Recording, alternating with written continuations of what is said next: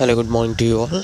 Today in this video i want to show you how you can apply dark theme for your contacts app. For example if you open your contacts so this is how you can view your contacts in the dark mode. So all that you need to do is you need to have google contacts app on your mobile. So this is my android mobile. I have installed google contacts. When you install this click on these three dots and click on settings. So under settings you can choose the theme by clicking on choose theme by default it will be on light.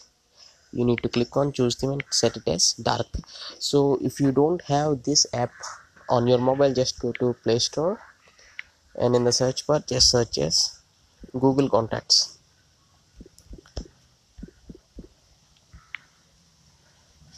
So here uh, right now on my mobile it is installed. If you don't have this you need to install and just change that theme to dark theme. I hope you like this and thanks for watching. Have a nice day